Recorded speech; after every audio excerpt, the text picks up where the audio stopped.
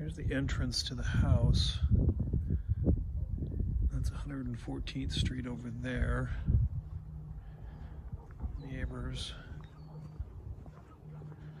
I'm gonna walk to the back side of the house after this video. Pinnacle Peak is that way. And we'll just have to see if we got anything from the back of the house.